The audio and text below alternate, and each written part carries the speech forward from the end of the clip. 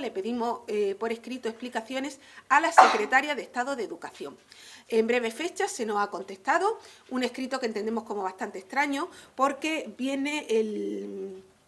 eh, como enviado por la Secretaria de Estado de Educación, pero sin registro de salida y sin firmar. Nos lo manda el señor Calzado y este, este, mm, este escrito